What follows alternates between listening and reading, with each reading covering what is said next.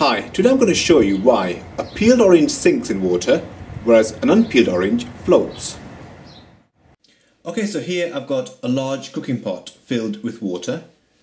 So I'll begin by placing the unpeeled tangerine into the water and as you can see it floats. Now let me add the peeled tangerine and as you can see it sinks to the bottom.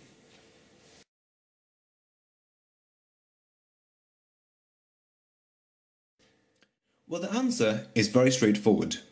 The skin of a tangerine contains tiny pockets of air which helps it float.